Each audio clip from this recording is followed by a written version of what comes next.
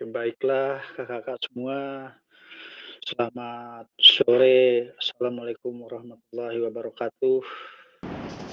Waalaikumsalam warahmatullahi wabarakatuh. Waalaikumsalam warahmatullahi wabarakatuh. biasa sebelum memulai saya ingin kita semua mengeluarkan suara, eee, sebagai tanda kita tune in atau masuk ke proses pertemuan kita atau pembelajaran. Silakan buka mic-nya Kakak-kakak semua. Baik, Kak. Kak, Kak Hafiz, Kak Indra, Kak Denny,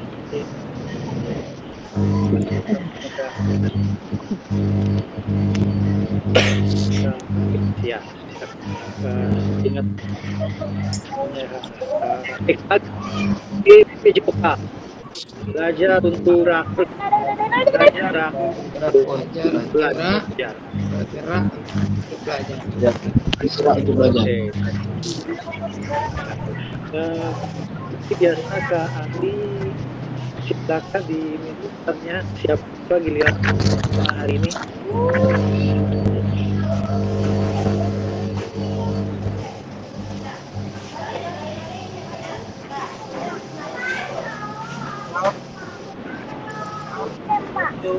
Ari Rozi.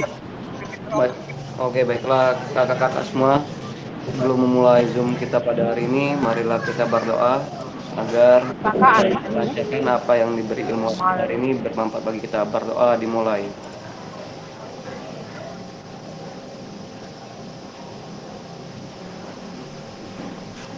Berdoa selesai. Terima kasih Kak Ari dan Kak Andi telah memimpin doa kali ini. Kakak-kakak saya akan membagikan layar seperti biasa.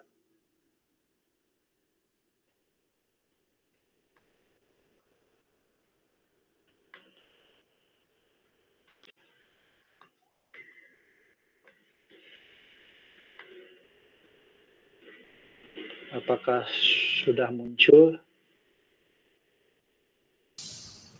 Sudah. Ada ya? Bapak, Bentar. Oke. Salam dan bahagia. Assalamualaikum warahmatullahi wabarakatuh. Salam damai sejahtera. Om Swastiastu, Namo Buddhaya. Salam kebajikan, rahayu untuk kita semua di ruangan ini.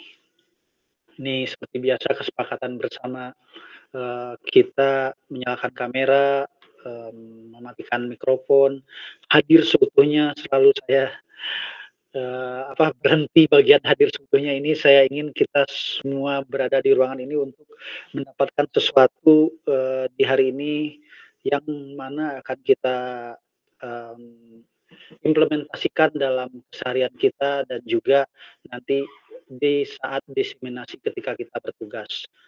Kemudian menghargai waktu bersama, memaksimalkan fitur chat, klik raise hand sebelum bertanya gangguan teknis adalah hal yang wajar.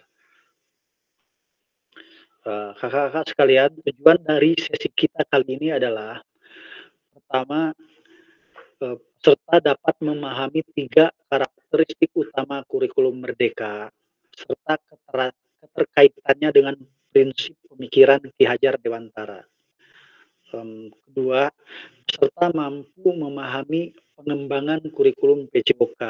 Dan ketiga, serta mampu memahami penyusunan program PJOK yang berkualitas dengan backward design. Nih, backward design mungkin beberapa orang ada yang baru dengar atau ada yang sudah tahu. Kita lihat apa sih backward design nanti.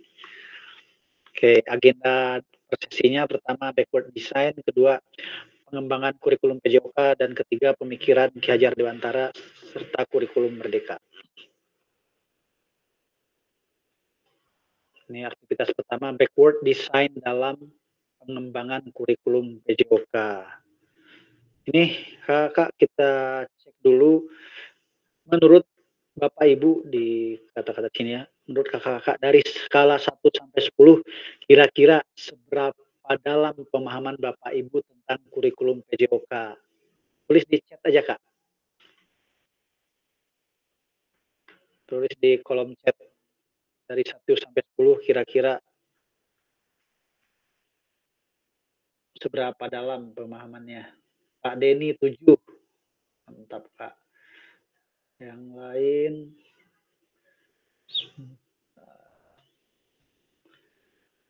Kak Ulfa 7 Kak Ari 7 kompak apa contekan ya? Kak Leni 7 Kak Rido 7 Kak Susilo 7 Kak Indra 7 Kak Firdaus Kak Desiana 7 habis ada lagi Kak Jenny Redi 6 Kak Andir 6 Kak Ferdi 6 Kak Nopriadi 6 setengah Kak Wahid 6 Kak Juanda 6 Oke Kak Juanda Hafid ya. Kakak-kakak sekalian um, dengan jawaban kakak-kakak di kolom chat ini kecenderungannya adalah kepedeannya ya kakak-kakak ya percaya dirinya. Saya merasa yakin saya benar-benar memahami saya kurang yakin dan lain-lain. Uh, rata-rata di enam setengah ya ada enam ada tujuh lebih banyak tujuh tampaknya. Um, kita lihat arahnya ke mana nih nanti kurikulum yang diharapkan terutama di tahun 2024 ini karena ada perubahan di capaian pembelajaran kakak-kakak. Uh, kita lanjut dulu mendalami tapi sebentar saya penasaran nih Kak Nopri enam setengah Kak boleh Kak cerita sedikit satu menit atau dua menit Kak Nopri kok jawabnya Oke. Boleh sih, apakah suara saya bisa didengar Kak? jelas jelas Jelas ya. Oke, terima kasih Kak Maulana dan rekan-rekan lainnya. Eh, saya memberikan pemahaman saya enam setengah terkait kurikulum PJOK ini karena eh, saya merasa belum terlalu mendalami secara komprehensif eh, seluruh rangkaian tujuan dari kurikulum PJOK itu sendiri. Di mana kalau dulu PJOK juga ditempatkan di grade B sebagai mata pelajaran di grade B. Jadi eh, satuan pendidikan itu diberikan kesempatan untuk memilih dan menyesuaikan dengan sarana prasarana yang ada di satuan pendidikan tersebut. Nah, kemudian yang kami kurang paham yaitu pola eh, penilaiannya, walaupun terdapat terdapat tiga yaitu afektif, eh, psikomotorik, dan juga kognitif Nah, kami di satu sisi tentang penilaian sikap atau efektif ini yang cukup membingungkan. Karena banyaknya penilaian tersebut, jadi menurut kami pendalaman kami terkait kurikulum PJOK ini masih sangat kurang, Kak. Mungkin lebih ke arah situ, kekurang pahaman kami. Mungkin itu aja Kak Maulana. Terima kasih. Oke, terima kasih Kak um, Kak Ari ya. Eh, Kak Nopri, Kak Nopri, sorry. Uh, jadi kegalauannya di sini adalah tentang penilaian ya Kak Nopri ya. Nanti mudah-mudahan di dalam program ini dan ada ada memang ada modul khusus uh, di modul 2 nanti tentang assessment Kak tentang penilaian mudah-mudahan uh, kegalauan Kak uh, Nopri yang mewakili kegalauan banyak dari kita termasuk saya sebelumnya terjawab di uh, modul assessment nanti. Oke, terima kasih Kak untuk telah berbagi. Kita iya. lanjutkan ya, ya Kakak ya.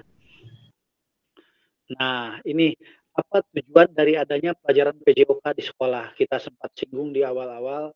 Uh, ini tidak perlu dijawab, sudah ada jawabannya di sini. Menurut EP, capaian pembelajaran PJOK Kurikulum Merdeka tahun 2024 ini yang kemarin dibagikan uh, karena nanti akan menjadi patokan PJOK selanjutnya adalah CP yang sekarang dan pendidikan eh, PKG ini Kak. Ini akan jadi patronnya ke depannya. Mudah-mudahan kita berhasil me menularkan atau mendiseminasikan seluruh guru PJOK di wilayah kita masing-masing. Oke, pendidikan jasmani, kesehatan olahraga, pendidikan jasmani, olahraga dan kesehatan harusnya kayak PJOK bertujuan sebagai pembelajaran bagi peserta didik dalam satu mengembangkan, menerapkan dan mengevaluasi keterampilan, konsep, strategi gerak, yang akan menjadi disposisi untuk berpartisipasi dalam berbagai aktivitas jasmani dengan penuh kepercayaan diri, kompetensi, dan kreativitas. Dua, membantu dan memberi dukungan mereka dalam memilih gaya hidup sehat dan aktif secara jasmani. Tiga, membangun dan menerapkan keterampilan sosial dan emosional melalui konteks pembelajaran yang menekankan nilai-nilai fair play, kerja tim, dan inklusivitas. Dan yang keempat, menanamkan apresiasi dan mengembangkan sikap positif untuk aktif secara jasmani sepanjang hayat sebagai upaya peningkatan keseluruhan kualitas kualitas hidup ini bahasa ya, bahasa dari capaian pembelajaran di uh, tahun 2024 ini setelah direvisi. Nanti kita di lapangan tentu saja menerjemahkan dari bahasa ini menjadi uh, prakteknya terhadap dalam pembelajaran. Kita lanjutkan. Nah, terlepas dari kurikulum apa pun, apakah selama ini Bapak Ibu sudah memahami dengan baik tujuan mata pelajaran dan menjadikannya sebagai acuan? Uh, boleh dijawab lagi di chat kakak-kakak. Terlepas dari semua kurikulum yang pernah kita lalui kak, uh, apakah selama ini kakak-kakak sekalian sudah memahami dengan baik tujuan mata pelajaran ya kak ya, bukan tujuan pembelajaran setiap sesi, tujuan mata pelajaran dan menjadikan tujuan ikut itu sebagai acuan. Dimohon jawaban yang sejujur-jujurnya. Tidak apa-apa, tidak ada salah atau benar, tapi kita mau lihat uh, di lapangan, di lokasi kakak atau di tempat kakak, bagaimana nih? Apakah sudah dijadikan acuan tujuan uh, mata pelajaran? Silakan kak, hanya jawabannya sudah, belum, atau sebagian, boleh di kolom chat.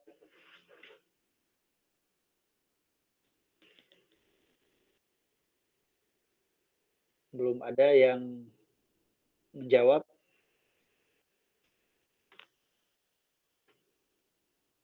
silahkan kak.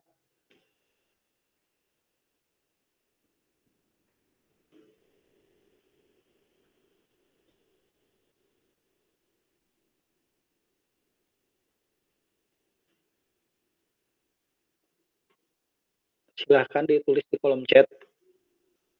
Silahkan ditulis di kolom chat. Ah kak Ari sudah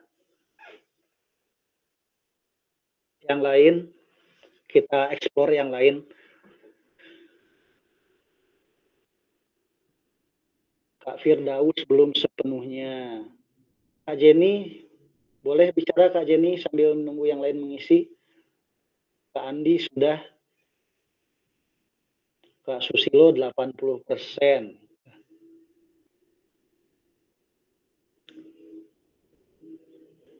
Belum sepenuhnya sebagian sudah menjadi acuan pembelajaran karena konsep capaian PJOK saya mengajak anak bergerak aktif dengan aktivitas bermain dan bugar pada fisiknya. Kak Ikhwan 70 persen. Pak Nopri sudah cukup memahami. Jangan takut Kak, yang ini tidak akan ditanya.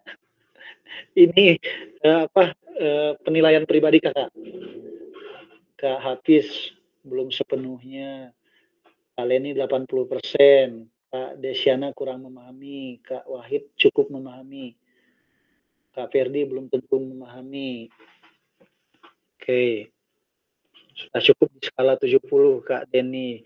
Baik kakak-kakak, eh, dengan melihat jawaban kakak-kakak di atas, saya cukup merasa bangga di kelas kita rata-rata um, di atas 70% cukup memahami bahwa uh, memahami ya capaian atau tujuan pembelajaran dan menjadikannya sebagai acuan ya kak ya.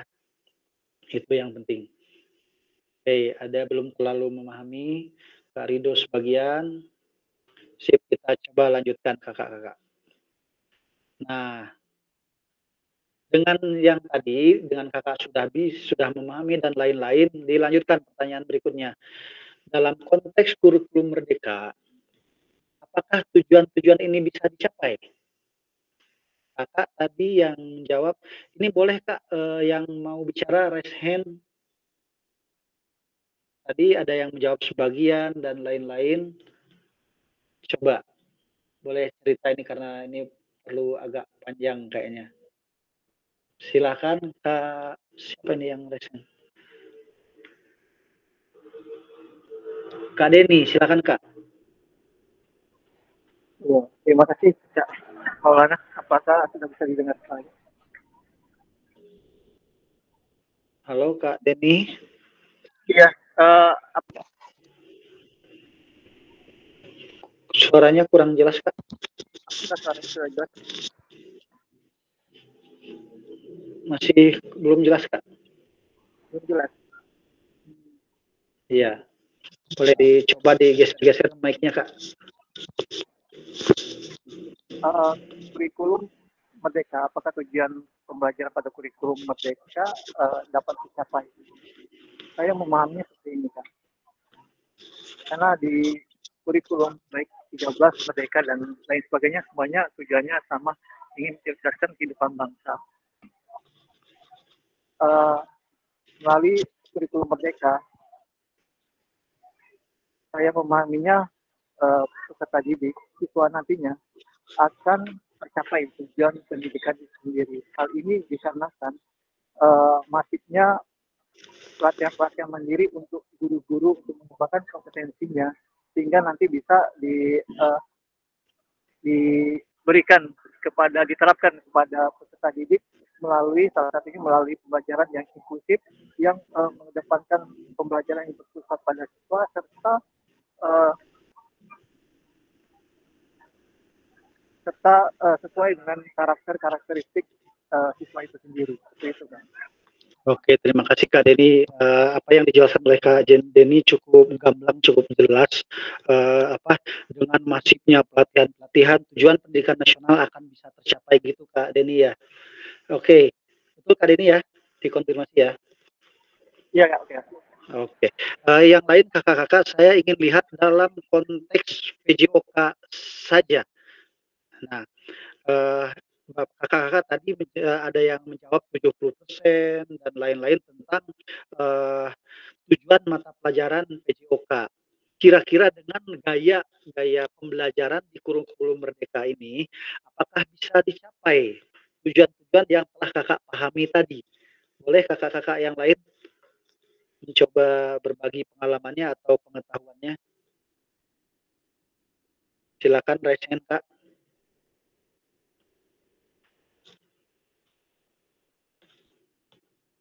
Ada kak? Siapa yang mau coba berbagi pengalamannya dengan uh, kurikulum merdeka ini atau kurikulum nasional sekarang yang sudah berjalan beberapa tahun terakhir ini?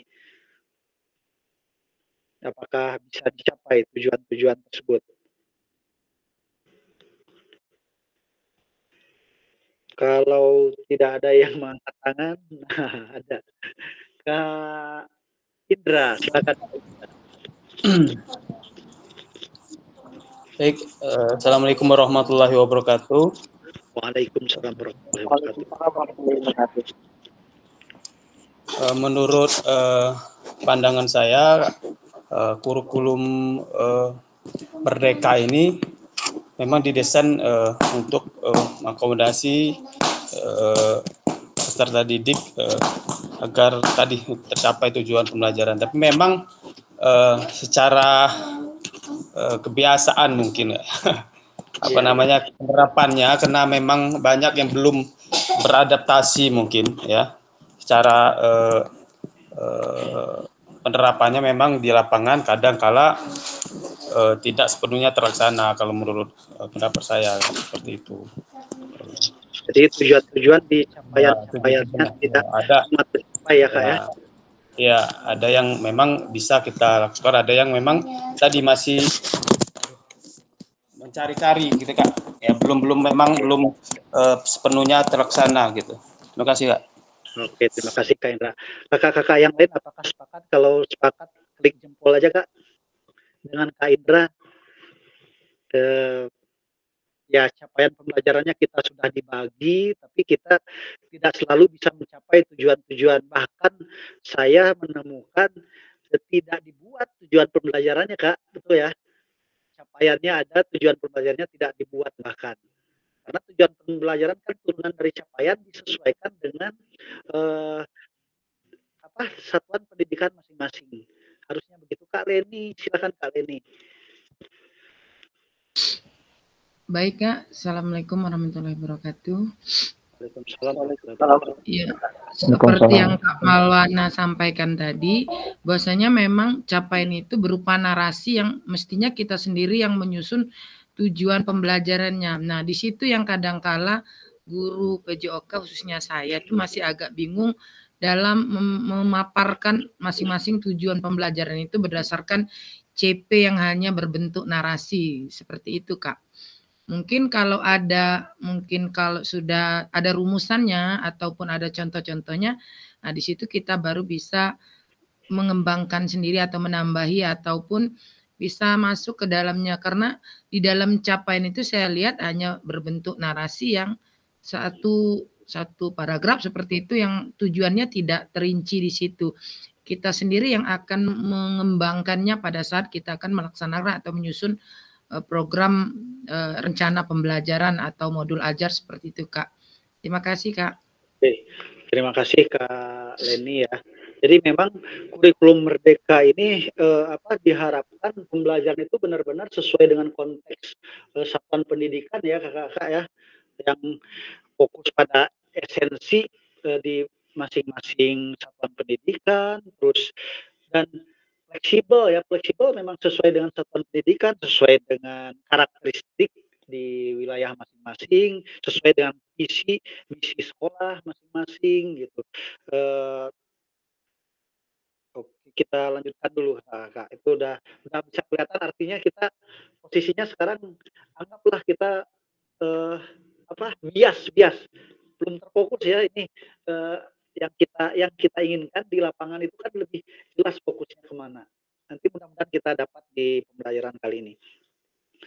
Oke, ini uh, memahami tujuan umum tujuan umum yang tadi tujuan umum yang ini Nah, tujuan umum ini ya, kakak yang tadi dibacakan, memahami tujuan umum penting sebagai acuan untuk memahami muara akhir pembelajaran. Untuk mencapai tujuan umum ini, pemerintah sudah menurunnya, menurunkannya ke dalam dan mempersilahkan guru atau satuan pendidikan untuk menurunkannya lagi ke dalam TP. Ini guru ya atau satuan pendidikan menurunkannya ke dalam tujuan pembelajaran. Seperti seperti yang kita bahas sebelumnya kakak-kakak untuk CP-nya yang 2024 sudah di-share di grup ya kakak-kakak ya. Itu uh, informasinya kemarin uh, di halaman 1708 ternyata tidak kakak-kakak di itu untuk PJOK khusus kakak-kakak bisa lihat di halaman sekitar 300-an 345 kalau tidak salah uh, dari situ per, per tahun 2024 ini uh, kurikulum yang dipakai capaiannya dari yang kemarin saya share itu kak yang baru direvisi. Oke, kita lanjutkan. Nah, bagaimana caranya agar memastikan atau bagaimana cara memastikan agar pengajaran yang kita lakukan benar-benar menyasar tujuan pembelajaran. Karena di lapangan sering kali pengajaran langsung fokus pada materi atau aktivitas apa yang harus dilakukan murid ini saya alami sendiri. Ketika akan mengajar oh besok saya mau mengajar sepak bola besok saya mau mengajar poli besok mau atletik besok mau kebugaran. Tanpa jadi tujuannya belakangan gitu. Tanpa fokus ke tujuannya tapi fokus ke materinya. Apakah kakak-kakak mengalami hal yang sama saat ini atau sebelumnya? Uh, like aja tanda jempol. Kalau sama jempol apakah sama kita fokus pada materi ketika mau mengajar? Kak Firdaus sama ya Kak Indra sama Kak Ari sama Kak Wahyu Kak Nopri Kak Iwan sama. Oke sekitar 25% Kak Hafiz sama. Kak Ulfa keluar kayaknya terlempar dia. Kak Denny sama ya. Jadi fokus kita mengajar itu pada materi. Nah ini nih backward design akan akan menyasar ini kita lihat. Kita lanjutkan ya kakak-kakak ya. 50% saya kira sama. Selebihnya apakah mungkin tidak menyimak atau mungkin belum sempat klik dan lain-lain dan mungkin memang sudah bermainnya atau turun ke lapangan mengajarnya mulai dari tujuan. Kita lanjutkan. Nah, proses backward design dalam pengembangan kurikulum secara umum melalui tiga tahap di bawah ini. Oke, jadi tahapannya urutan ini, ini urutan ya satu dua tiga urutan kak ya, bukan poin. Satu, mengidentifikasi capaian pembelajaran yang nantinya kita akan menentukan tujuan pembelajarannya. Lalu menentukan metode penilaian dan baru merencanakan pengalaman belajar dan strategi pembelajaran. Artinya begini, sebelumnya kita fokusnya di sini nih, fokusnya di pengalaman belajarnya, di sepak bola, materi poli atau apa pun. Tapi sekarang kita mulainya dari sini dari tujuan. Ketika kita akan mengajar besok, tujuannya apa dulu? Nah, setelah dapat tujuannya, baru metode penilaiannya bagaimana? dan terakhir baru pengalaman belajarnya yang akan kita sampaikan. Ini Kak, kalau dianalogikan, kita akan berlibur naik mobil. Nah, kita tentukan dulu tujuannya. Tujuannya ke gunung, misalnya ke pantai, baru metode penilaiannya. Bisa dinyatakan sampai ke gunung itu. Sampai di titik mana? Dinyatakan sampai ke pantai itu pantainya apakah masuk ke wilayah wisatanya atau hanya di pinggir saja kita tentukan dulu baru naik mobilnya gitu kalau biasanya ah kita mau naik mobil tanpa tujuannya nanti belakangan gitu itu itu apa analoginya kakak-kakak kita eh, sampai sini ke bayang nggak kak atau apakah terlihat perbedaannya dengan sebelumnya? Silakan ada yang mau mencoba elaborasi pemahamannya sampai di titik ini.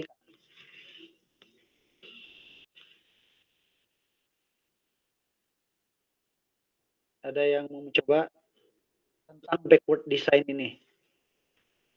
Kok namanya backward design gitu? Mundurnya itu seperti apa? Backward itu mundur ya kak? Desain mundur nih mundurnya seperti apa gitu kan ada yang bisa uh, mengelaborasi uh, pemahamannya kak Denny lagi silakan kak Denny terima kasih kak Mau uh, ya, kak. kemarin ketika kita belajar ada di komunitas kita ada diskusi juga terkait dengan CP yang pembelajaran. Nah, di situ saya lihat di ini di DP-nya itu memahami uh, mengevaluasi. Jadi ketika ada kata mengevaluasi, saya sendiri kok bingung.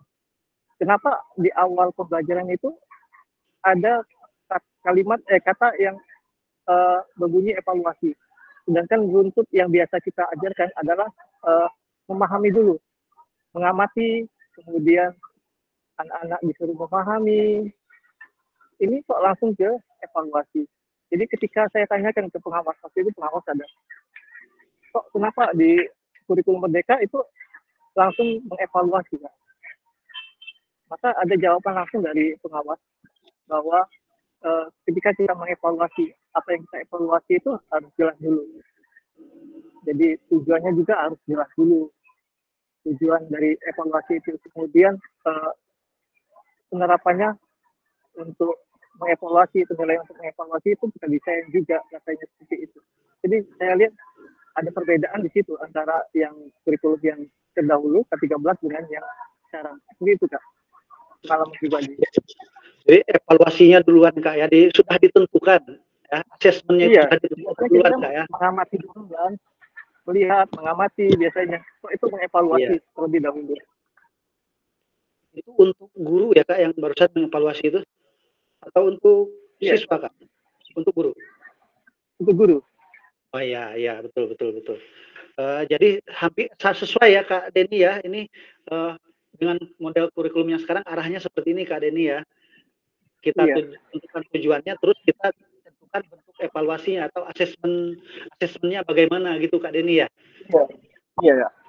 Eh, baru kita menentukan apa, pengalaman belajarnya bagaimana atau materinya iya. apa gitu kak ininya.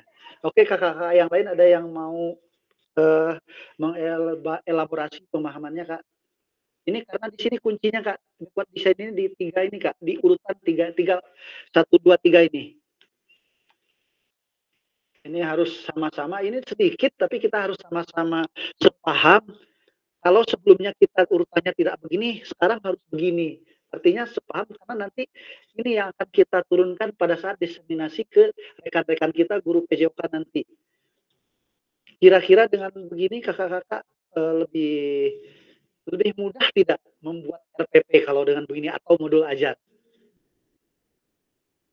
Atau malah lebih sulit? Yang jelas ini saya kira lebih terarah Kak ya. Lebih terarah. Kita akan mencapai apa capaian yang diharapkan. Kak, Kak Ulfa terlempar lagi. Silakan kakak-kakak ada yang mau mengelaborasi di bagian ini Kak.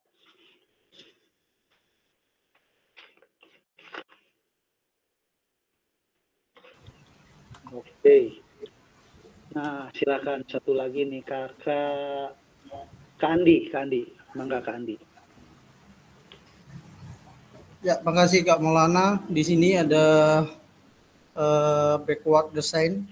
Uh, menurut saya backward design ini uh, mungkin kata-kata yang baru di telinga kami khususnya.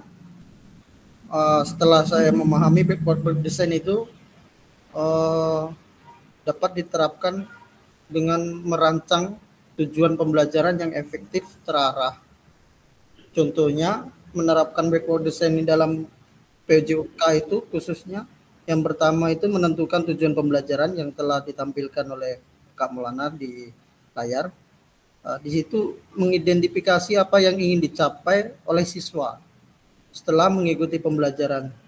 Tujuan ini uh, menurut saya harus spesifik, terukur, kemudian dapat dicapai dan terbatas pada waktu. Kemudian yang kedua itu penilaian.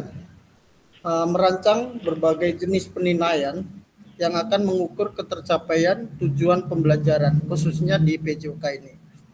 E, bisa berupa tes tertulis, keterampilan, e, observasi atau proyek. Yang ketiga itu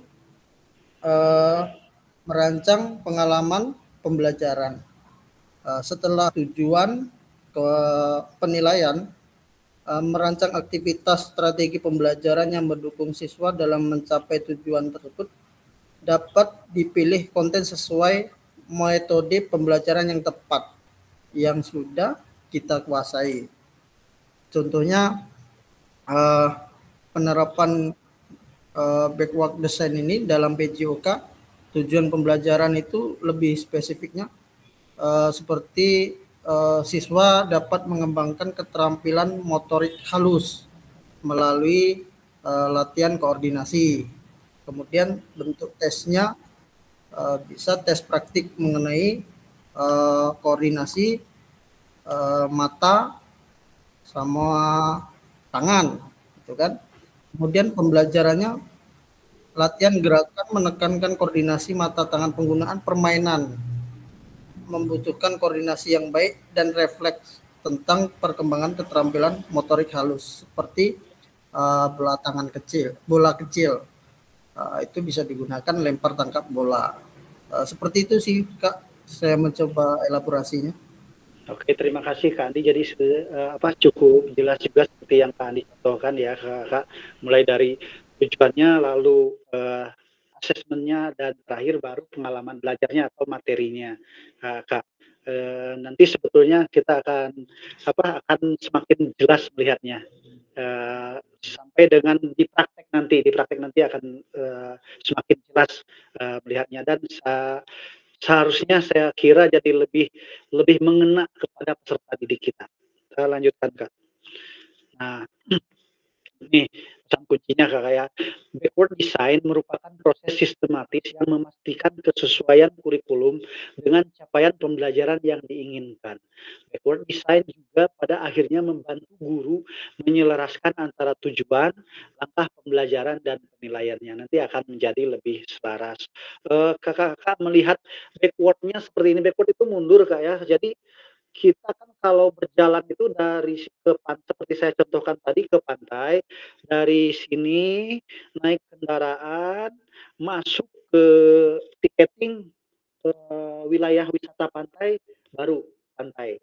Nah, backward design itu tujuannya kita taruh duluan gitu, kita urus duluan lah tujuannya itu, uh, goalnya, uh, ke pantainya, kemudian, uh, uh, yang kedua tadi asesmennya, buktinya kita sudah ke pantai itu, sudah membayar tiket pantai, masuk ke wilayah pantai, dan baru perjalanannya naik mobil, naik sepeda, uh, apa, atau berjalan kaki karena dekat disesuaikan dengan uh, tadi Kak Andi sempat menyinggung uh, kemampuan kita atau karakteristik di satuan pendidikan masing-masing. Itu kakak-kakak ya mudah-mudahan uh, bisa lebih memperkuat pemahamannya kita lanjutkan oke uh, yang kedua sekarang aktivitasnya penyusunan program PJOK ini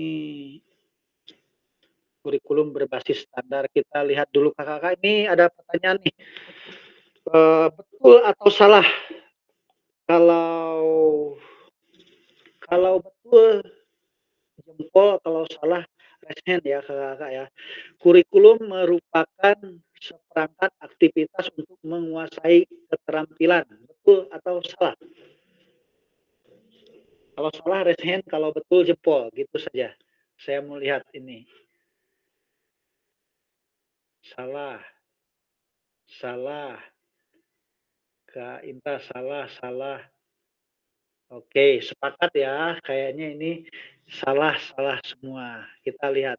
Oke, salah ya. Kurikulum merupakan perangkat aktivitas untuk menguasai keterampilan. Salah, sepakat. Tidak ada yang beda nih. Lanjut. Berikutnya. Buku teks peserta didik dapat dikatakan adalah suatu kurikulum Betul atau salah? Salah resen? Ya, salah Kak Susilo. Lanjut yang lain. Yang tadi udah resen turunkan naikkan lagi. Oke, sepakat ya.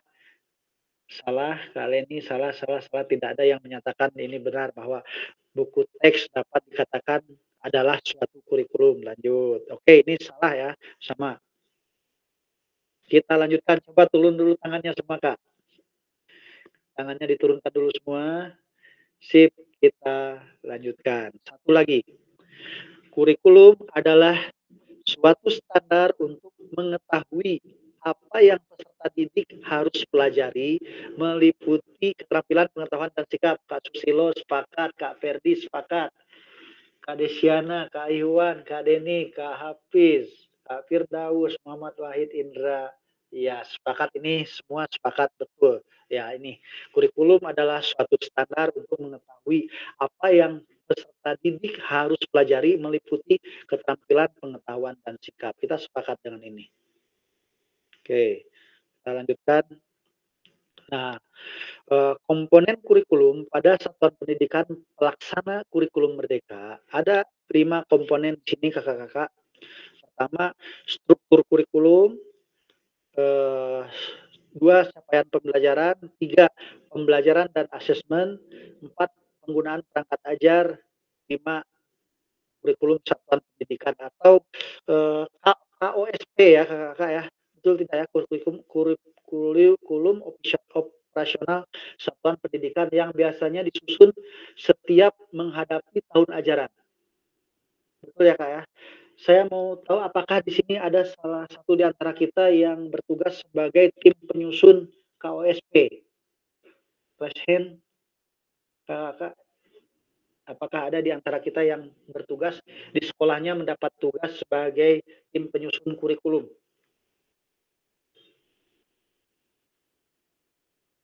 Kalau tidak ada, hmm, ada yang di SMA kakak-kakak saya tidak punya catatan kakak-kakak yang di SMA siapa saja SMA atau SMK ya Kak um, Indra. Kak Indra penyusunan kurikulum di tempat kakak mengajar bagaimana kak?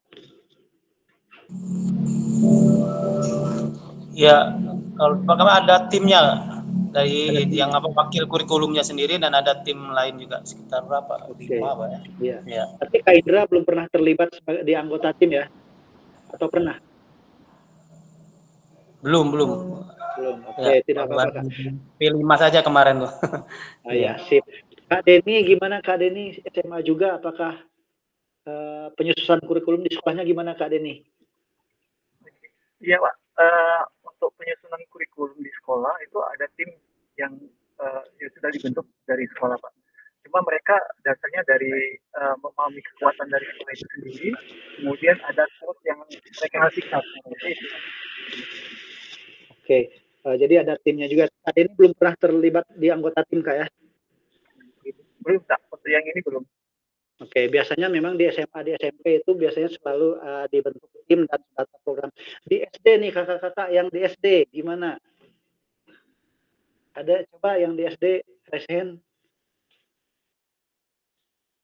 Yang di sekolah dasar kakak-kakak. Adakah? Halo kakak-kakak guru GeoKSD. Raise hand.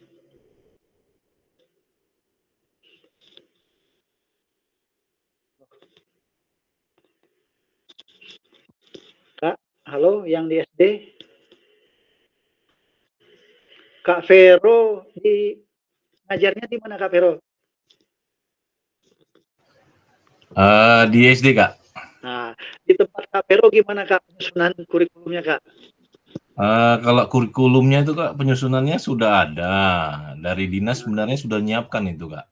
Hmm, ya itu. Jadi Sama, kami Kak. itu tinggal hanya jujur ya kak ya, cuman hanya mengikuti arahan dari dinas. Hmm, ya, Jadi ya. tinggal hanya me- mengu- eh, apa namanya, tinggal istilahnya mengganti nama nama SD. Ya, ya, kurikulum. betul. Nah, gitu kak. Jujur kak, itu aja kak. Tidak apa-apa Kak Vero, jangan berkecil hati. Karena apa? eh, kadang pimpinan kami di SD, ya saya di SD juga kakak-kakak sekalian, tidak mau repot Kak Vero ya. Kita tidak ada program penyusunan KOSP itu kadang diurus sama operator semua, tahu jadi aja. Kita yang penting ngajar Kak Vero gitu ya Kak Vero ya. Siap. Nah, gitu kami kejadiannya di SD kakak-kakak seperti itu. Eh, kami tidak dilibatkan dalam penyusunan KOSP. Mudah-mudahan kakak-kakak jika kakak nanti jadi pemimpin terutama di sekolah dasar atau ada temannya kepala sekolah di sekolah dasar, ya diingatkanlah harusnya kurikulum itu sesuai dengan satuan pendidikan, satuan pendidikan masing-masing, tidak tidak sesuai dengan dinas gitu maksudnya. Itu Eh, jika tidak ada yang bergerak ya akhirnya begitu terus sampai kapan pun ya Kak Pero ya. Ini terjadi juga di kami Kak Pero, jangan berkecil hati kita di tetapi setidaknya kita mulai dari niat aja lah untuk mengingatkan bagian itu bahwa KOSP itu atau kuri- kurikulum satuan pendidikan ini harusnya dilakukan dibuat oleh sekolah masing-masing gitu Kak. Ini kalau kita ulang lagi, 1, 2, 3, 4, 5, nomor 1 dan 2 ini sudah sudah standar dari kementerian. Struktur kurikulum dan capaian pembelajaran sudah standar. Namun 3 sampai 5 ini kita yang buat sekolah masing-masing satuan pendidikan ataupun guru seperti yang tadi dijelaskan di atas. Oke. Nah, komponen 5 komponen ini dikembangkan dan digunakan di satuan pendidikan terdiri dari karakteristik satuan pendidikan, visi, misi, dan tujuan pendidikan, pengorganisasian pembelajaran dan perencanaan pembelajaran. Ini makanya harus disusun di setiap eh, satuan pendidikan kakak-kakak. Eh, karena eh, di SD terutama ya, karena kebetulan saya pun di SD, seperti yang tadi saya jelaskan, visi misi pun bahkan tidak disusun oleh sekolah ya kakak Vero ya. Visi misi sudah ada jadi OSP itu kan padahal ada visi misi di situ sudah ada aja dari sananya gitu. Bahkan kita nggak baca, Kak Vero, ada akses untuk baca, tidak si bundelnya itu di kantor kepala sekolah itu pun ditumpukan paling bawah kalau mau ada pemeriksaan aja akreditasi atau apa baru keluar itu barangnya. Ya Kak Vero begitu Kak Vero ya dan rekan-rekan yang di SD. Siap kak. ada perbaikan di bagian ini dan saya yakin di SMP dan di SMA eh, berbeda Kak, Kak ya. Oke kita lanjutkan ya Kak. Nah, mengapa kurikulum kurikulum operasional berbeda antar satuan pendidikan? Ini jawabannya agar bermakna kurikulum operasional satuan pendidikan dikembangkan sesuai dengan konteks dan kebutuhan peserta didik dan satuan pendidikannya. Ini bisa menjadi kabar gembira kakak-kakak sekalian. Kita dapat menyusun program yang relevan dengan kultur gerak di mana peserta didik tinggal. Sekarang kenyataannya terutama kembali lagi di SD ya kakak-kakak biasanya itu ditentukan oleh pengawas kecamatan. Padahal kecamatan sendiri kadang kontur lingkungannya berbeda. Ada yang sekolahnya itu di pesawahan, ada yang di perbukitan, bahkan ada yang di pinggir sungai.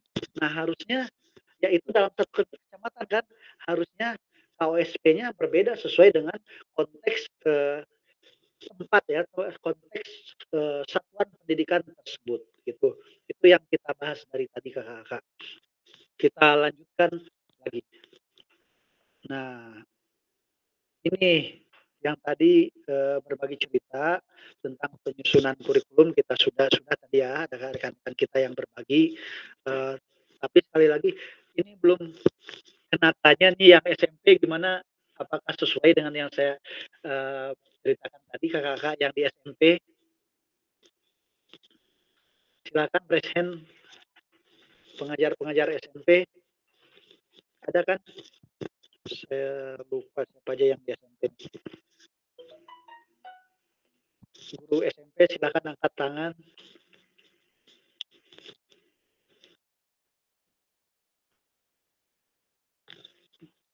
Oke, Kak Firdaus. Gimana Kak Firdaus? Oke, terima kasih Kak Maulana. Uh, izin kawan-kawan. Uh, kalau untuk di SMP kan memang sudah ada waka kurikulumnya. Nah, jadi uh, untuk penyusun itu uh, sudah ada timnya Pak. Seperti itu Kak. Sudah ada tim, memang sudah uh, ikut juga pelatihan sama waka kurikulum dari setiap sekolah yang diadakan dinas jadi memang merujukannya tetap dari dinas seperti itu kak. Oh iya kak, itu kak biasanya adakah unsur dari semua mata pelajaran kak? Kalau waka kurikulum ya seluruh mata pelajaran ya. E, maksudnya ketika menyusun itu tim penyusun kurikulumnya, apakah di situ e, ada perwakilan dari semua mata pelajaran kak? Ya, ya oh, ada, ada ya. Dari PJOK, IPA, IPS hmm. itu dipanggil untuk nyusun sama-sama. Kak Firdaus pernahkah ikut Kak di tim itu Kak? Gimana? Bisa diulang? Kak, Kak Firdaus pernah ikut di tim penyusun kurikulum atau tidak? Oh, kalau saya jujur belum pernah karena uh, saya aktif di OSIS Kak. Jadi untuk kurikulum memang sudah ada timnya masing-masing. Paling memberi masukan untuk uh, eh, RPP perangkat pembelajaran seperti itu.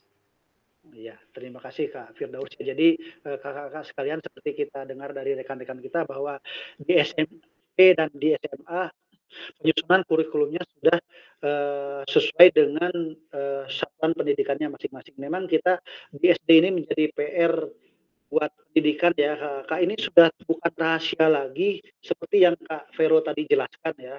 Udah ada dari sananya kan kita mengajar pun tidak sesuai dengan kurikulum karena memang tidak sesuai dengan daerah kita Kak Pero ya. Uh, di tempat saya misalnya ada materi janganlah di tempat saya ada kolam renangnya di suatu tempat ada materi renang sementara kolam renangnya nggak ada yang terdekat gitu uh, aksesnya harus jauh sekali itu tapi di KWSP-nya ada ya harusnya kan nggak boleh begitu Kak Pero ya betul kak ya seperti seperti itu kita lanjutkan kakak-kakak Oke. Bagaimana Bapak Ibu selama ini merancang program PJOK sebagai bagian dari pengembangan kurikulum mata pelajaran PJOK?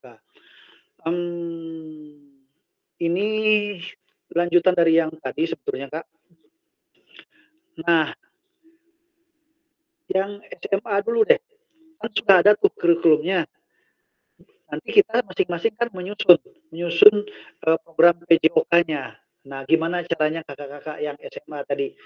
Um, tadi cuma berdua ya, Kak Indra dan Kak Deni perwakilan SMA. Mau siapa dulu nih? Bagaimana biasanya kakak-kakak menyusunnya? Oke, makasih Kak Maulana. Oke, silakan Kak Deni ya. Uh, untuk menyusun kurikulum PJOK itu biasanya saya membuatnya berdasarkan dari modul ajar yang ada kemudian dari uh, dasar awalnya dari IP yang di share sama pemerintah jadi dari tujuan dari tujuan yang uh, dari pemerintah tersebut kemudian kami kembangkan dan mengacu juga dari modul ajar yang ada. Jadi itu kak. Oke, uh, jadi sudah ini ya kak karena, karena di dalam KWSP Satuan Pendidikan tidak mungkin keluar dari CP yang sudah ditentukan oleh pemerintah kak Deni ya. Jadi main dari situ uh, baru kita nyusun masing-masing sampai ke modul ajar kak Deni ya ke bawahnya turunannya. Uh, tujuan pembelajaran, alur tujuan pembelajaran sampai ke modul ajar ya kak ya. Iya, iya. Oke, SMP aman nih. Kalau SD nih eh, pengalamannya teman-teman kakak-kakak yang di SD eh, bagaimana nih? Kita kan tetap nih dituntut. Nanti saya juga akan bagi pengalaman saya sama nih. Kita kan tetap dituntut ketika ada eh, apa pemeriksaan kita harus punya kan RPP dan lain-lain gitu. Gimana biasanya kita menyusunnya kak? Kakak-kakak yang di SD perwakilan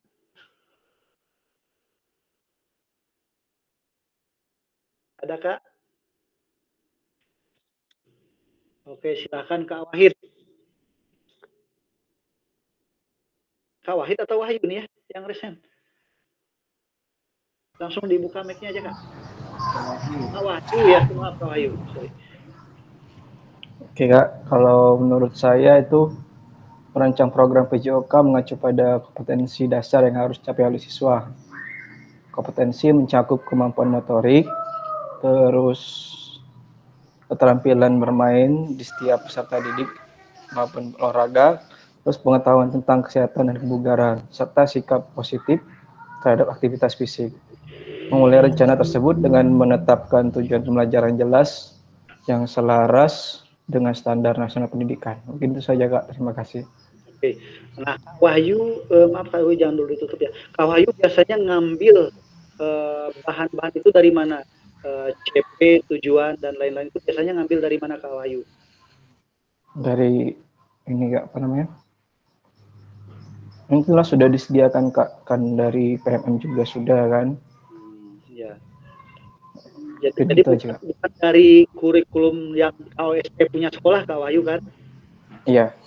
Ya, kadang kita ngambil dari PMM atau dari rekan-rekan kita yang di-share berantai gitu Kak Wahyu ya? Ya, betul Kak. Ya, betul. Sehingga memang kenyataannya kita mengajar, kita mengajar itu sudah sesuai realnya. Tapi KOSP sekolah ini yang tidak sesuai dengan kita. Kak Vero ketawa-ketawa aja di sini. Karena kenyataannya begitu Kak Vero ya. Yang lain-lain dan yang lain-lain untuk di SD. Jadi ya karena uh, keterbatasan uh, mungkin ya banyaknya sih ingin simple kalau kita saya lihat rekan-rekan guru PJOK mengajar itu sudah sudah sesuai. Kalau nggak ada kolam renang ya tentu saja di sekolahnya nggak ada renang gitu. Tapi pembelajarannya sudah sesuai sebetulnya. Tapi di, dengan belum selaras dengan kurikulum sekolah atau kurikulum tingkat satuan pendidikan atau kurikulum operasional satuan pendidikan. Itu ya bukan bagian kita tapi perlu kita sondingkan. Mudah-mudahan kalau kita sondingkan ke kepala sekolah atau ke rekan kita barangkali nanti kita yang jadi kepala sekolah mungkin akan bisa berubah sedikit-sedikit kakak-kakak lanjutkan ya kak ya. Nah ini mbak akan sedikit berbeda ke kakak. Uh, ditulis saja di chat kak. Uh, satu kata atau kalimat apa ya apa saja yang selama ini Bapak, Ibu atau kakak-kakak anggap menjadi sesuatu yang bernilai untuk dipelajari oleh murid di kelas PJOK.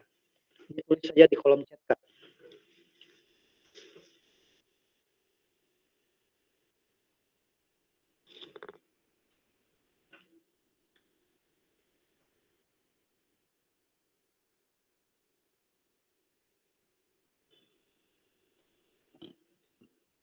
apa yang paling bernilai yang perlu dipelajari oleh murid kita?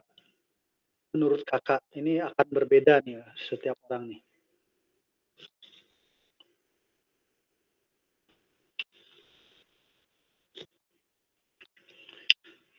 Kak Vero menciptakan manusia yang bugar dan sehat serta aktif. Kakak-kakak yang lain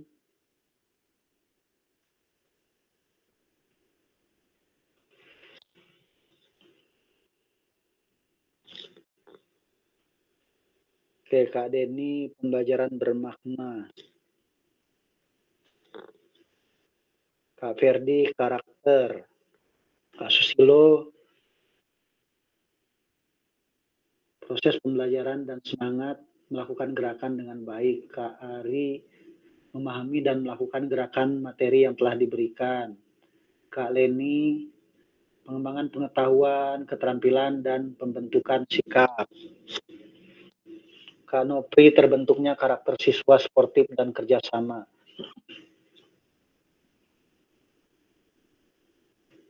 Oke, kakak-kakak. Ada yang ingat ini berhubungan dengan materi kita di modul berapa ya kakak-kakak ya? Silakan dibuka mic untuk di pertanyaan saya ini. Kak Hafiz, pendidikan karakter. Buka mic langsung aja jawab kakak. Di modul berapa nih kita uh, sempat menyinggung ini nih? Ulfa terbentuk karakter dan belajar yang menyenangkan. Ada yang ingat kakak-kakak di mana kita sempat uh, menyinggung ini? Karakter dalam mengikuti pembelajaran. Wahid karakter. Ada yang ingat kakak-kakak? Ini orientasi kak ya, orientasi nilai ini di modul berapa kemarin kak? Oke, Kak Iwan, siswa mampu memahami modul berapa kak? Orientasi nilai. Ada lima kak kemarin kak. Modul lima. Ada lima, ada lima. Oh, ada lima. Oh ya, orientasinya ada lima. Itu di modul berapa kita pelajari kemarin kak? Di modul satu titik tiga kalau salah. Satu titik tiga yang judulnya pada siswa, kan? Wah, SCL ya, Student Central Learning ya. Pembelajaran yang berpihak pada murid ya kak ya. Iya. Nah itu, ini sama kan ini eh, ya ini kelihatan apa orientasi orientasi kakak-kakak tergambar juga dari jawaban kakak di chat ini. Jadi tidak apa-apa kak, tidak apa-apa karena nanti eh, walaupun kita misalnya seseorang saya kak eh, apa kak saya anggaplah di sini kak Hafiz orientasinya pada pendidikan karakter, namun kan nanti kita ada CP, ada tujuan pembelajaran yang harus kita capai. Tetapi yang lainnya pun akan akan tergali melalui CP dan tujuan pembelajarannya itu. Jika kita menyusun sendiri tujuan pembelajarannya, lalu kita membuat asesmennya, nanti kita akan tahu nih pengalaman belajar seperti apa yang kita berikan atau materi apa agar anak kita peserta didik kita mencapai tujuan pembelajaran tersebut. Oke Kak, terima kasih atas jawabannya di chat. Kita lanjutkan. Bagaimana Bapak Ibu akan men- mengintegrasikan itu semua ke dalam proses pengembangan kurikulum mata pelajaran PJOK yang sekarang berlaku? Orientasi nilai tadi diore- diintegrasikan ke dalam kurikulum mata pelajaran PJOK yang sekarang berlaku. Ada yang mau coba elaborasi? Dibuka aja mic-nya. Oke, tadi ada berbagai jawaban, ada yang karakter, pengalaman, pembelajaran bermakna. Bagaimana kira-kira ini ini apa asumsi aja atau apa bayangan kira-kira saya akan begini nih memasukkannya ke dalam pembelajaran gitu.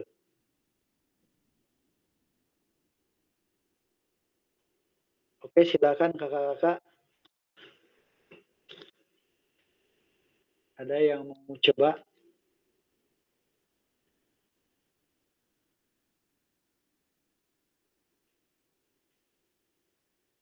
Kalau tidak ada, Kak Jenny ada?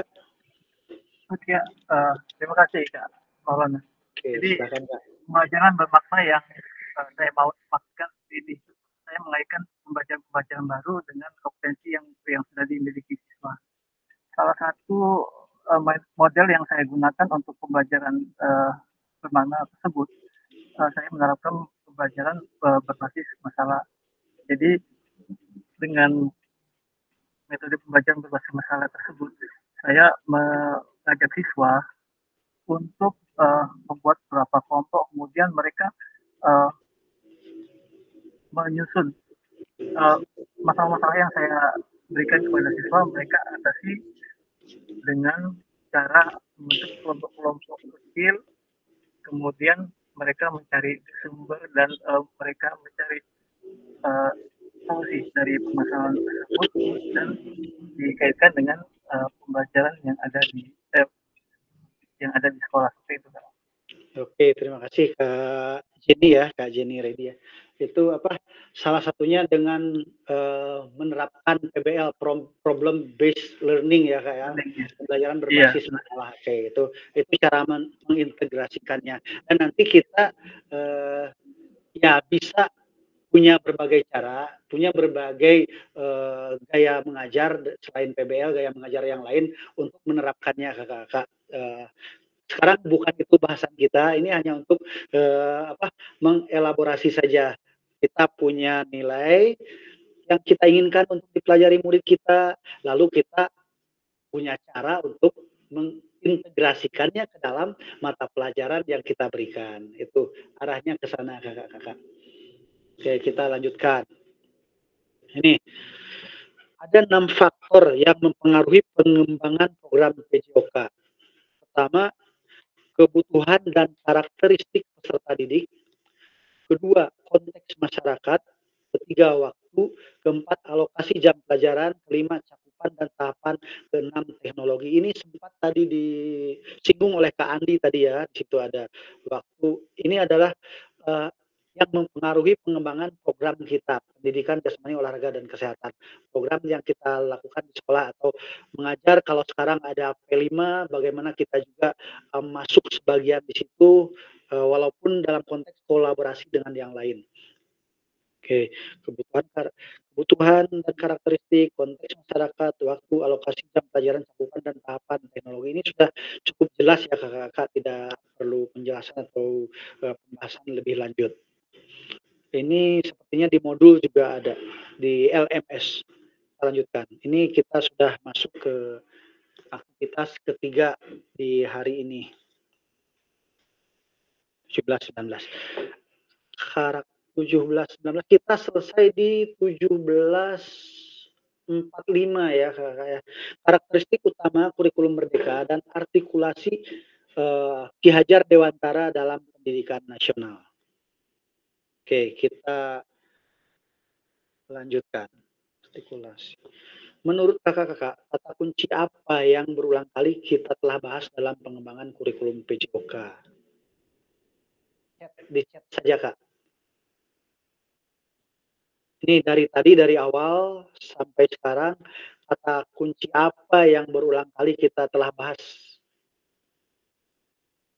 Ditulis saja di kolom chat.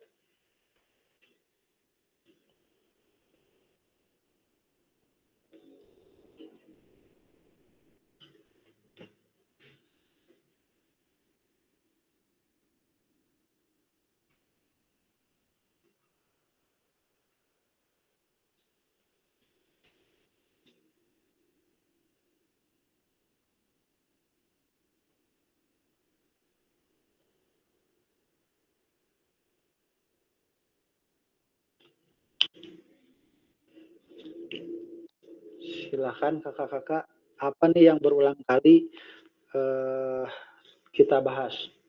Oke, capaian dan tujuan pembelajaran Kak Leni. Tujuan pembelajaran asesmen Kak Deni.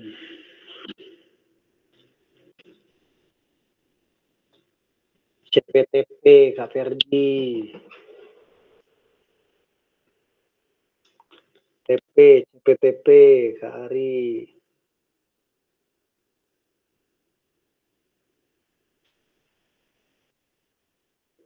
CP dan pengembangan kurikulum, pencapaian pembelajaran, pencapaian pembelajaran CP dan TP. Tujuan pembelajaran.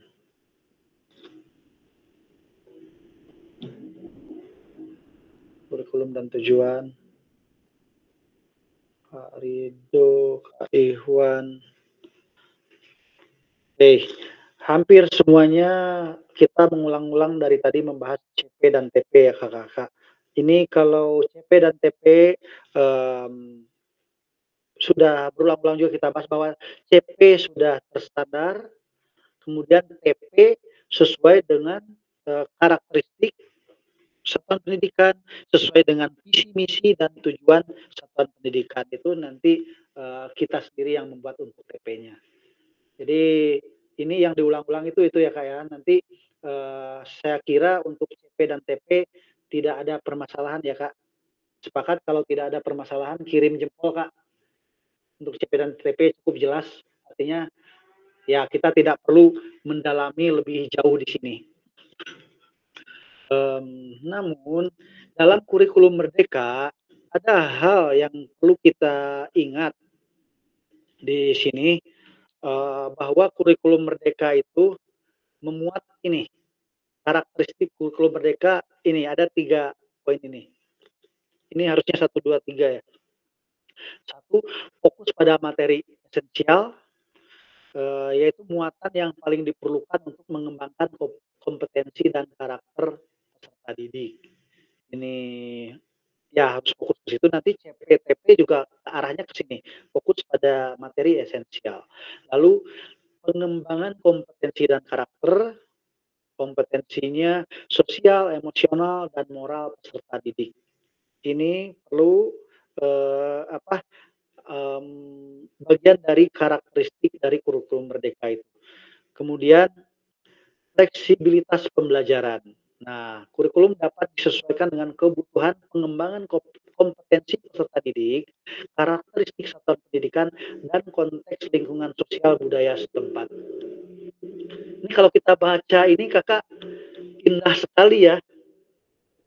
Kalau kita uh, baca tiga, tiga poin ini, fokus pada materi esensial, pengembangan kompetensi dan karakter, fleksibilitas pembelajaran kita mengajar rasanya tidak repot. Kenapa? Karena sesuai dengan konteks yang ada di tempat kita. Siswa kita belajar mendapatkan maknanya, esensinya dapat, karena kompetensinya jadi baik, karakternya juga jadi baik. Ini um, mohon maaf kakak-kakak sekalian, suatu dulu saya sering selama sekolah, saya sekolah di Bandung, bukan sering, mungkin dalam waktu lima tahun dua atau tiga kali saya bolak-balik ke Jambi, Bandung menggunakan kendaraan darat.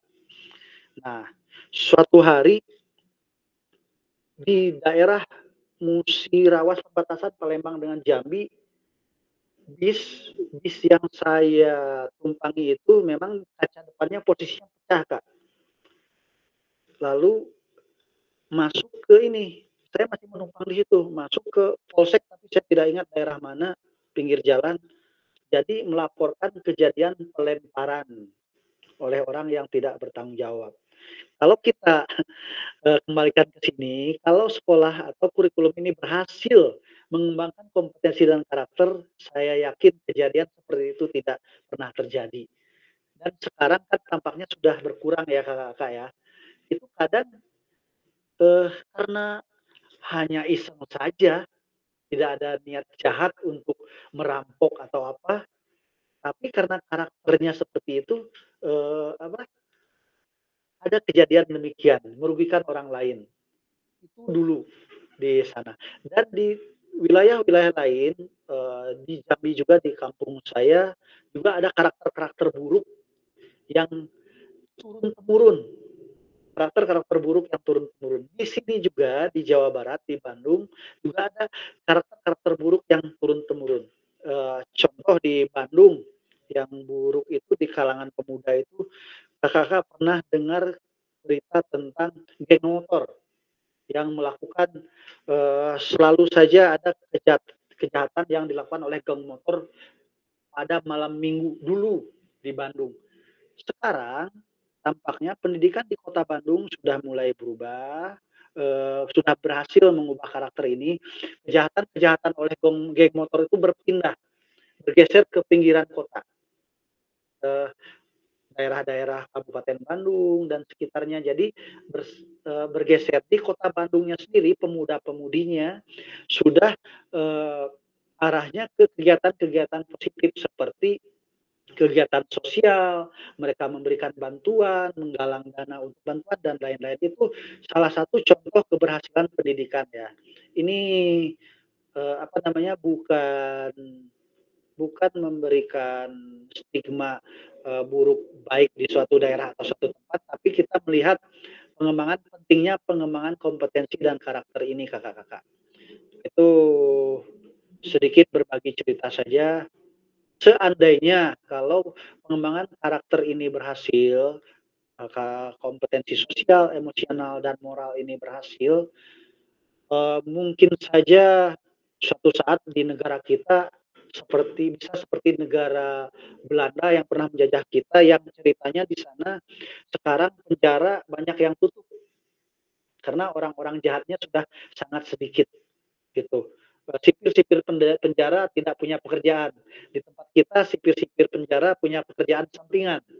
Ya, di sana sudah tidak punya pekerjaan karena banyak yang tutup itu keberhasilan salah satu keberhasilan pendidikan dan mudah-mudahan pada saatnya nanti negara kita pun berhasil dalam uh, membangun karakter ini. Kita lanjutkan. Oh ini udah tadi ya.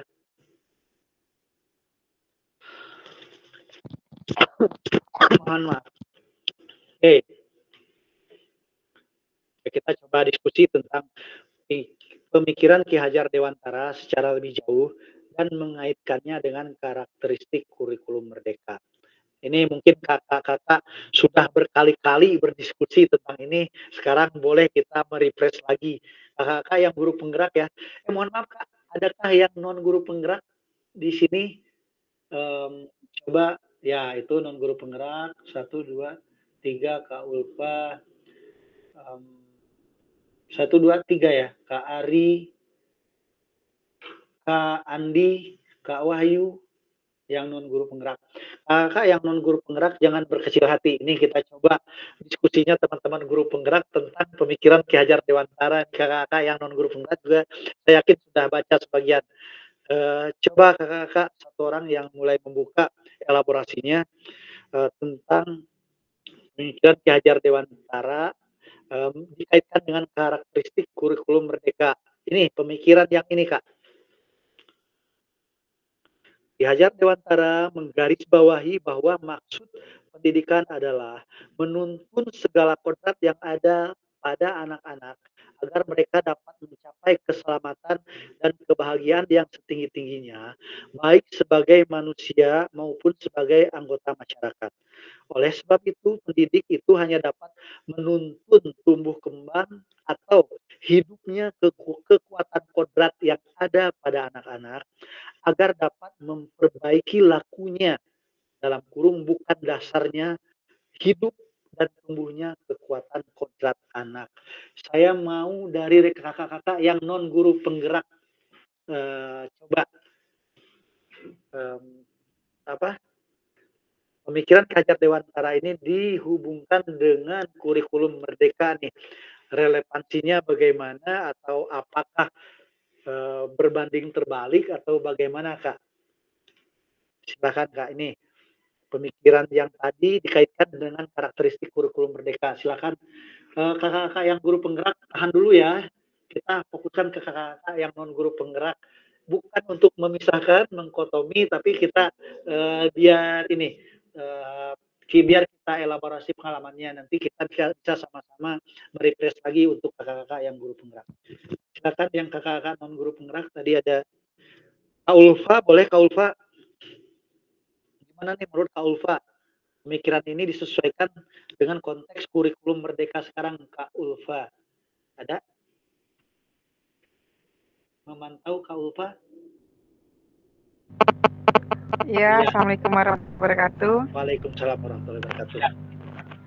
Kalau menurut saya Kak untuk eh, Ki Hajar Dewantara ini selaras dengan konsep dari konsep dari kurikulum merdeka karena di mana anak tadi belajar berpusat pada anak belajar yang menyenangkan dan tercapainya dan tercapainya capaian tujuan pembelajaran tadi.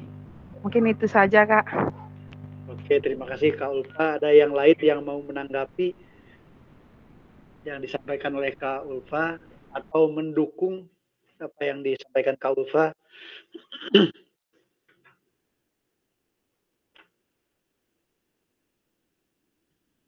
Silakan Kak. Oh, Ulfa lagi. Kak Ulfa. Halo, izin menambahkan lagi Kak, eh, sepengetahuan saya berdasarkan mengikuti IHT di sekolah bahwa eh, prinsip dari teoritis Ki Hajar Dewantara itu memiliki tiga para ahli yang dijadikan satu konsep bahwa ber, eh, belajar itu dengan cara berkonsep berma, bermain eh, mensesuaikan dengan mensesuaikan dengan kodrat anak bermain ada tiga konsep tiga para ahli pokoknya kak.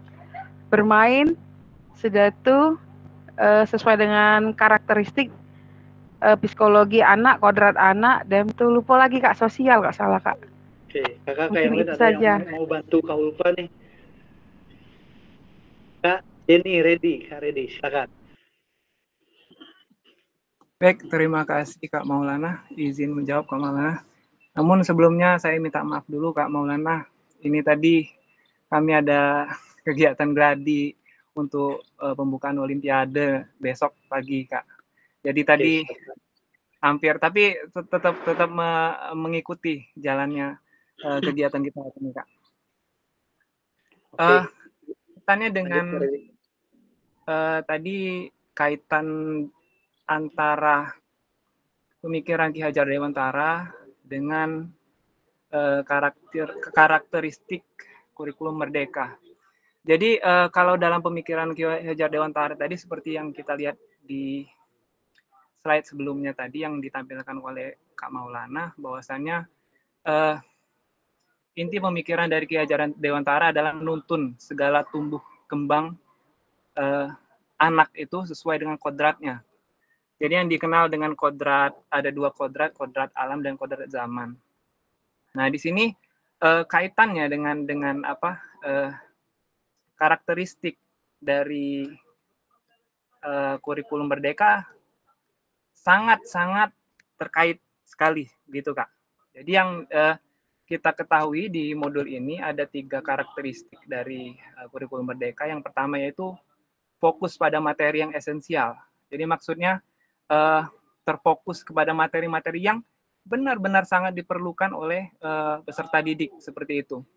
Jadi ini sangat sesuai dengan pemikiran Ki Hajar Dewantara yang memperhatikan uh, kodrat alam dan kodrat zaman seperti itu. Kemudian uh, karakteristik yang kedua yaitu pengembangan kompetensi dan karakter. Nah di situ tadi juga disebutkan selain uh, menuntun tumbuh kembang kodrat tadi, ya salah uh, di antaranya adalah uh, pengembangan kompetensi dan karakter murid. Kemudian yang uh, terakhir adalah fleksibi, fleksibi, fleksibilitas pembelajaran. Nah ini juga sangat sangat uh, menyambung sekali dengan pemikiran Ki Hajar Dewantara bahwasanya pembelajaran itu harus fleksibel sesuai dengan dengan kodrat alamnya, sesuai dengan kodrat zamannya. Sebagai contoh, pembelajaran uh, uh, untuk apa alam seperti itu ya. Itu disesuaikan dengan keadaan kodrat alamnya. Seperti di kami itu alam uh, di sana lebih ke pertanian. Dan pembelajaran yang yang berhubungan dengan pertanian tidak bisa dihubungkan uh, tidak bisa disamakan dengan pembelajaran yang muridnya mungkin tempat alamnya kodrat zamannya bukan bukan perkebunan seperti itu. Seperti uh, misalkan uh, di laut seperti itu. Jadi uh, di sini ada fleksibilitas pembelajaran. Nah jadi sangat sangat terkait pemikiran Ki Hajar Dewantara tadi yang di mana kurikulum merdeka ini karakteristik dari ketiga karakteristik ini lahir memang sebenarnya dari pemikiran Ki Hajar Dewantara tersebut. Demikian Kak Maulana. Oke, terima kasih Kak Redi. Uh, jelas sekali ya kakak-kakak sekalian yang dijelaskan oleh Kak Redi tadi. Justru kurikulum merdeka ini intisarinya dari uh, pemikiran Ki Hajar Dewantara, begitu Kak Redi ya. Oke, kakak-kakak yang lain ada yang mau memberikan penguatan lagi terhadap relevansi pemikiran Ki Hajar Dewantara dengan kurikulum merdeka ini. Uh, kalau bisa disambungkan dengan uh, apa yang kita uh, pelajari hari ini kakak-kakak.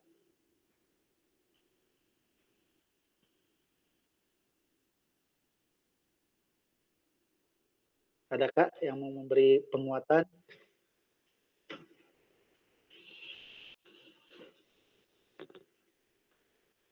Kak Ferdi, silakan Kak Ferdi. Assalamualaikum warahmatullahi wabarakatuh. Terima kasih Kak Mulana.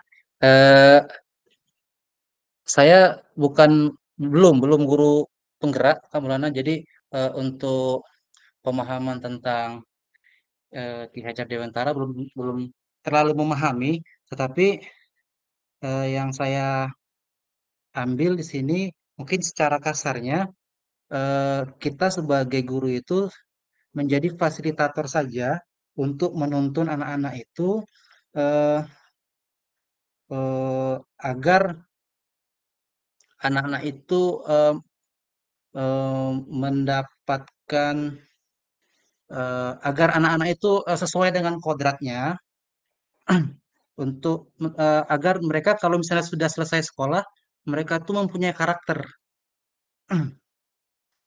karakter yang baik, yang sesuai dan dan uh, sebagai manusia maupun sebagai anggota masyarakat. Itu aja Kak Mulana. Oke, terima kasih Kak Ferdi ya. Jadi karakter baik yang sesuai uh, si apa sesuai kodrat dia sebagai manusia dan juga sebagai anggota masyarakat Kak Ferdi ya. Ya, Kak Mulana. Masih ya. ada waktu kakak-kakak yang lain. Sekarang silakan guru penggerak yang sudah lama atau yang masih fresh. Coba gimana relevansi pemikiran Ki Hajar Dewantara yang tadi saya share juga di grup itu. Uh, saya sudah fotokan di grup, bisa dibaca lagi di situ dengan kurikulum merdeka dan juga dengan uh, apa yang kita pelajari hari ini tentang kurikulum uh, apa PJOK, penyusunan kurikulum PJOK.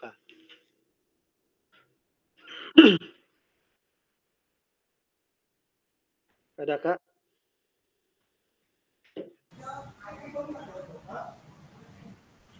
Oke, silakan Kak Andi. Ini pemikiran Ki Hajar Dewantara kak ya? Halo? Ya, halo Kak Andi, masih putus-putus tampaknya. Pertanyaan apa kak? Halo, ya. Uh, relevansi pemikiran Ki Hajar Dewantara yang saya share grup itu di grup WA Kak yang tadi uh, dengan kurikulum merdeka dan dengan apa yang kita pelajari hari ini. Eh, pemikiran Ki Hajar Dewantara uh, ke kurikulum merdeka.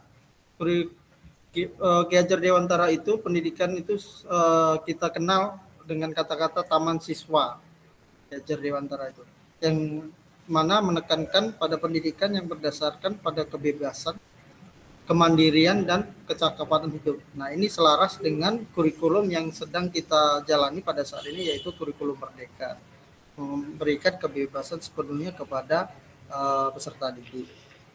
Di mana uh, pemikiran Ki Hajar Dewantara ini uh, ada beberapa yang uh, kita uh, pahami dan garis pertama bagi kami guru penggerak yang baru uh, baru selesai uh, di angkatan 9 kemarin yaitu yang pertama itu pendidikan untuk semua Ki Hajar Dewantara men, uh, menekankan penting yang diakses masyarakat tanpa memandang sosial, uh, ekonomi dan budaya. Itu yang pertama. Terus yang kedua, pendidikan berbasis kemandirian di mana uh, seperti yang saya sampaikan tadi uh, konsep taman siswa uh, Ki Hajar Dewantara menekankan pada pendidikan yang mendorong kemandirian, tanggung jawab dan proses dalam proses uh, belajar mengajar. berdasarkan nilai budaya ya putus-putus kak Andi Halo? Putus tampaknya. Sinyal kayaknya iya iya. Halo? Halo kak. Nah Cik, putus-putus. oke masih udah lebih baik lebih baik. Lanjut kak. Eh, yang ketiga pendidikan berdasarkan nilai budaya lokal di mana KHD itu eh, sangat menekankan atau mempromosikan eh, nilai-nilai budaya dalam pendidikan eh, terkhususnya pada kurikulum yang sedang kita jalan ini kurikulum merdeka. Itu untuk menentukan eh, memperbentukan karakter siswa. Kemudian yang keempat itu pendidikan untuk kecakapan hidup di mana KHD itu menekankan pendidikan seharusnya tidak hanya fokus pada penguasaan pengetahuan akademik, tetapi juga pengembangan kecakapan hidup atau life skill yang diperlukan nanti di peserta didik kalau sudah di kehidupan sehari-hari. Nah, contohnya kalau sudah lulus. Nah, di antara pemikiran KHD 4 ini uh, yang menurut saya yang digarisbawahi di pertama pendudukan pendidikan untuk semuanya uh, tidak uh, memandang strata sosial, ekonomi dan budaya, kemudian kemandirian untuk uh, untuk uh, belajar mandiri dan bertanggung jawab, kemudian budaya lokal, pembentukan karakter siswa, terakhir itu tadi kecakapan hidup untuk uh, ke- kemudian hari, di kemudian hari setelah selesai sekolah uh, akan diperlukan dalam kehidupan sehari-hari. Nah, itu yang kami peroleh dalam kegiatan guru penggerak kemarin, uh, di mana KHD itu meng, menggarisbesari pendidikan itu ada empat itu yang uh, yang saya pahami untuk uh, kurikulum merdeka yang saat ini sedang kita jalani Kak. Terima kasih, Kak. Terima kasih Kak Andi ya. Jadi seperti tadi kata Kak Ferdi, kurikulum merdeka ini intisarinya diambil dari pemikiran Ki Hajar Dewantara yang eh, sudah dijelaskan juga oleh Kak Andi tentang eh, taman siswa itu empat pilarnya mulai dari pendidikan untuk semua, pendidikan mandiri, eh, yang mandiri, pendidikan eh, yang sesuai dengan nilai budaya lokal serta mencakup kecakapan hidup. Eh, dan tentu saja semuanya itu eh, konteks eh, kalau melihat dari empat pilar ini yang disampaikan Kak Adi tadi konteks tiap-tiap sekolah itu pasti ada selalu ada perbedaan ya Kak. Itulah eh, yang kita yang kita tekankan dari tadi bahwa kurikulum PJOK atau program PJOK, program tahunan semester sampai ke RPP dan modulnya itu harus sesuai dengan konteks eh, di satuan pendidikan kita masing-masing. Em, itu kakak-kakak ya untuk apa yang kita pelajari hari ini dan tadi tentang backward design itu mempermudah menggunakan backward design itu mempermudah kita mencapai mencapai apa yang kita ingin dipelajari oleh peserta didik kita. Kita gurunya kita ingin mereka dapat ini. Kita ingin mereka sampai ke sana. Kita susun lah tahapan-tahapannya itu. Eh, tentu saja sangat tidak baik kalau yang menyusun kurikulum yang didrap dari sana ah, yang seperti diceritakan saya tadi dengan Kak Pero bagaimana di SD kalau kita menggunakan kurikulum yang ada kurikulum draft drafting dari atas seperti itu tentu saja kemungkinan cocoknya dengan eh, sekolah kita eh, sebagian tidak semua bisa cocok dengan satuan pendidikan di tempat kita mengajar. Em, itu kakak-kakak yang kita pelajari di hari ini.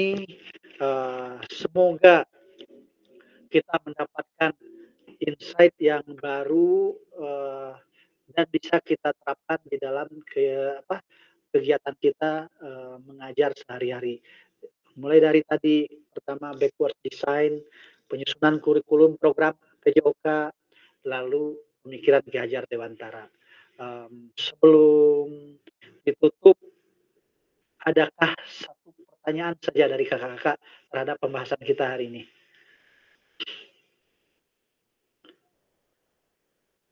Kalau tidak ada, kayaknya Kak Andi sudah punya ya fotonya Kak ya? Nanti satu dua tiga sudah selesai aja nanti. Udah kakak di foto kak Andi atau kita foto lagi dibuka kamera ini. Oh masih on off off mic-nya kak. Mute masih mute mic-nya. Kak Andi. Gimana kak? Tolong buka kameranya semua. Ayo Pak Susilo. Semuanya Kak Andi, dapatkan. Pak Firdaus. Pak Rido. Ah, iya. Siap. Setiap Pak Firdaus, mana Pak Firdaus? Kak Rido. Kameranya lagi rusak, Kak. Siap. Satu, dua, tiga. Tangan Di atas. Satu, dua, tiga. Cekrek, cekrek, cekrek, cekrek. Oke, terima kasih. Oke. Terima Terima kasih. Eh, jangan lupa tugas videonya, jangan lupa tugas di LMS-nya dibaca kakak-kakak semua. Eh, saya Siap, siap, siap. Setelah ini, setelah ini kita boleh berbincang sebentar kakak-kakak ya yang masih tidak ada keperluan buru-buru kita berbincang setelah ini setelah saya tutup sesi rekaman dari pertemuan kita sore ini. Eh, sekali lagi terima kasih untuk pertemuan sore ini. Sukses untuk semua. Wassalamualaikum warahmatullahi wabarakatuh. Waalaikumsalam. Waalaikumsalam warahmatullahi wabarakatuh. Waalaikumsalam warahmatullahi wabarakatuh.